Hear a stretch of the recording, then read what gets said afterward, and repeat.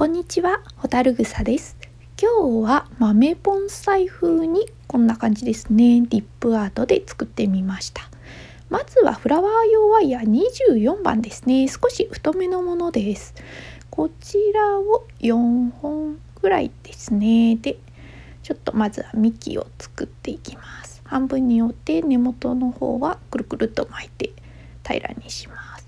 でどうしようかな2本ぐらいですかね取って枝を作っていきますかね。2本ちょっと先端の方をねじってこちらはどうしようかな。2本ずつで分けましょうか。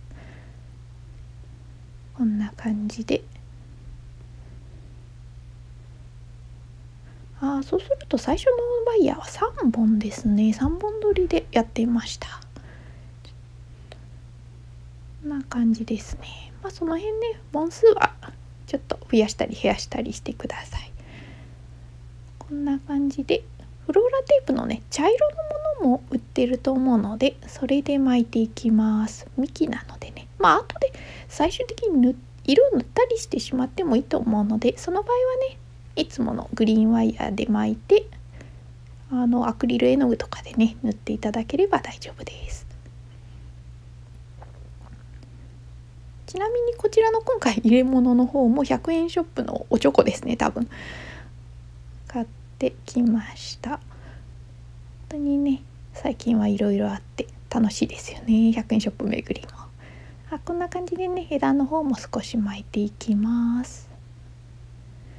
ちなみに豆盆栽っていうのはなんかちょっと調べたところによると木の高さがまあ、10センチ以内というかみたいなのがあるらしいんですがどうかな？今回のちょっと微妙なんですね。10センチいくかいかないかギリギリなところで。たこのね下の入れ物も合わせてしまうと多分10センチ超えるような気がして豆盆栽風ですねだから。あくまでも。うん。もう少し小さくね作ってもよかったかなという気はするんですが。まあね。何しろ盆栽なんてあまり作ったことがなくて。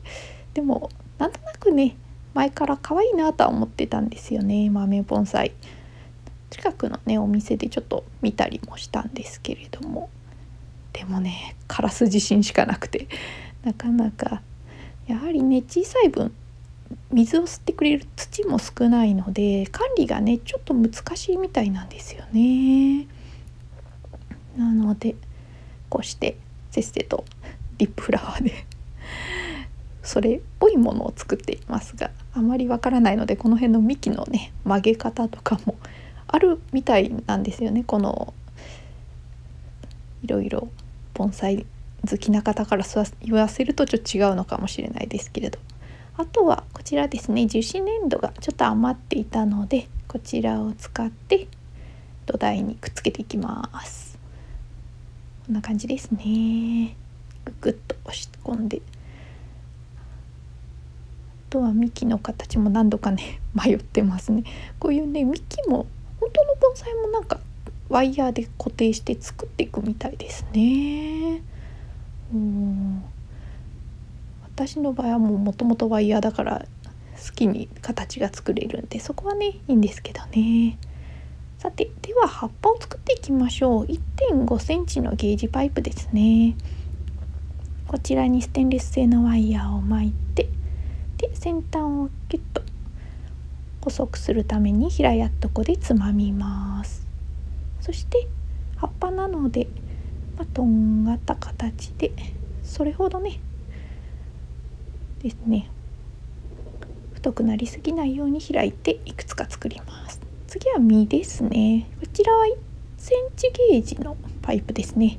こちらに3回回してキュッと止めます。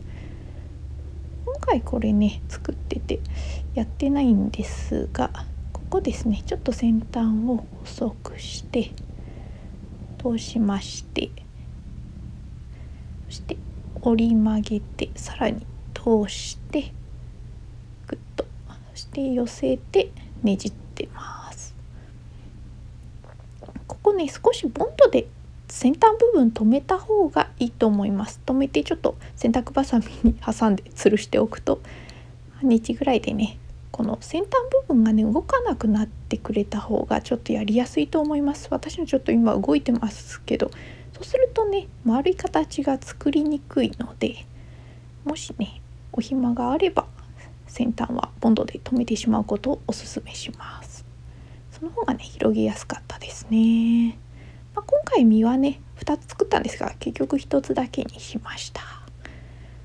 こんな感じでね広げていきます。形もねあの素ぐりのような形にしてもいいですしまん丸でも大丈夫です。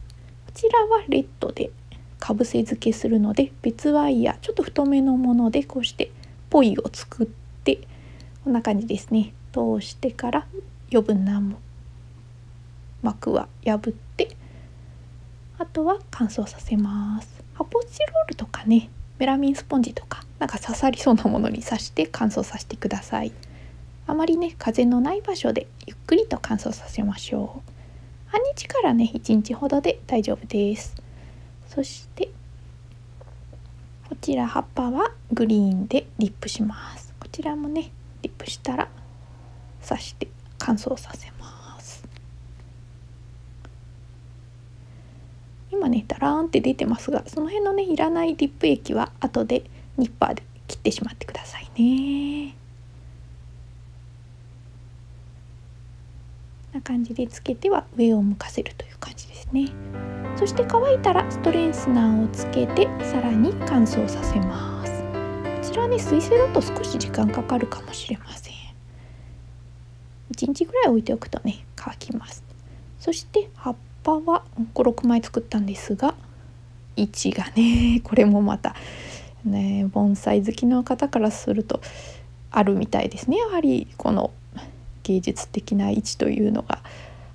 でも私全くそういうのわからないので 適当になんかそれっぽいところにつけてますが、まあ、一応ね位置変えられるようにこんな感じでワイヤーで留めつつやってます。前ねボンドでつけようとして非常に苦労した思い出があるので今回はワイヤーで、まあ、あの枝自体にねぐるぐる巻いて留めてしまってます。この方がね多分初めての時はやりやすいと思います。これをねボンドだけでくっつけようとするとなかなかね難しいのでワイヤーで縛ってしまいましょう。うんどこにつけようかなという感じですね。先端につけてみるか。この辺ね。結局これもこの赤い実も最初は確かリンゴ姫リンゴのつもりだったんですがなんかどうだろうっていう感じで特に名もなき赤い実です。そして余分なワイヤーは切ってしまいましょう。でねちょっと平やっとこでねあの飛び出てるワイヤーを枝に寄せてあげてください。感じですね。あ取れた。くっつけましょう。そしてさらにボンドでこのついてるところをね止めてしまえばこれで落ちなくなります。先ほどのようにポロッとね葉っぱが取れてしまうことがないようにボンドでつけて乾燥させます。次はこちらですね。これも100円ショップで買った芝風なものですね。これを大きさに合わせただこれちょっといや結構チクチクするので皆さん気をつけてくださいね。私なんか刺さったかなと思うぐらい チクッとするんで扱いの時には気をつけましょう。そしてちょっと切り込み入れてねあの幹を通せるようにしつつちょっと厚みが足りないのであんまりついてないところをこの辺に入れてこんな感じですかね。この辺の具合もねあんまりよく分かってないんですがこんな感じでいいかなという感じでやってます。まずはね位置を仮で決めていきます。こんな感じかな。そしてから木工用のボンドですね。まだこれもね仮の位置決めの段階ですね。ボンドをつけて中ね動かないように留めてしまいます。はいこんな感じですね。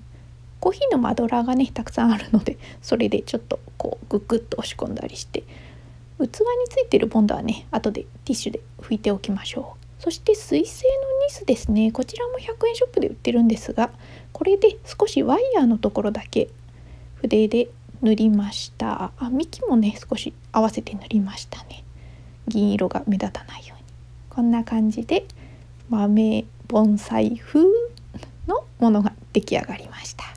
ここまでご視聴ありがとうございます。またよろしければチャンネル登録お願いいたします。